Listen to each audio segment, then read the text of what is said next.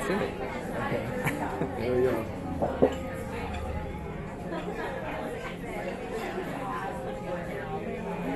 All right, that's perfect. That's cool. Oh, and it darkens.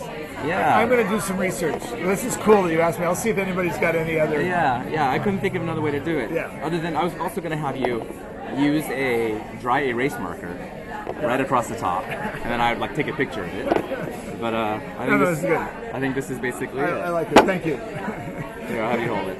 Okay. Maybe, maybe I'll get a picture. I'll turn this off.